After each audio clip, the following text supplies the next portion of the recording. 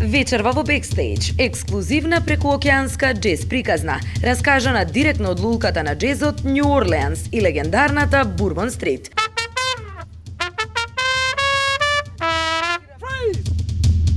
Македонска химна на среде Атина, грешка од брзање или незнаење на среде страница. Don't Let Me Down во нова неверојатна изведба и ракометно дерби во нов невиден срам. Mix of the Week. Јубилејна сторија за детскиот храм кој ги спои Сузана Спасовска, Дејан Лилич и Симон Трпчевски. Креативно, како пластичните капачиња и старите лустери може да се претворат во урбани модни додатоци.